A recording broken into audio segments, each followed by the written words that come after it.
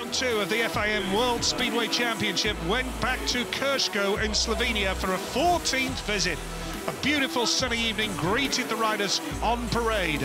Who could beat the brilliant Patryk Dudek, Bartosz Zmarzlik, Leon Madsen, all superb in Warsaw in the opening round. But Tai Woffinden, the reigning world champion, arrived on the back of a sickness bug overnight on his journey from Poland, where he'd been racing in the Polish Extraliga and vomited throughout the night, but um, at one stage looked as though he was going to withdraw from the meeting, but he did uh, arrive and Woffinden battled on.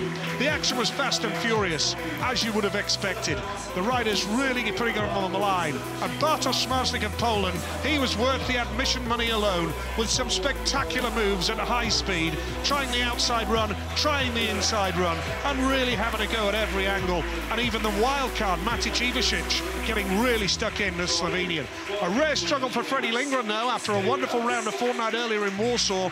Lindgren really struggling to get to grips with the track and is uh, set up to really make an impression. As the meeting progressed, Zmarzlik was the star of the show with a string of fantastically entertaining rides. Four wins out of five to get through to the semi-finals on 13 points. Emil Sayfutdinov back to his brilliant best. And what about young Robert Lambert? Two race wins, seven points, and he made the semi-finals on countback. This, a young rider in for Greg Hancock, who is unavailable for family reasons. A terrific atmosphere, crowd really enjoying it, packed down the back straight for this carnival-type atmosphere, and a really enjoyable night of Speedway. Kołodziej getting a win late on. That was his uh, penultimate ride, but ultimately he missed out on seven points because Lambert had two race wins and got the better of him on countback.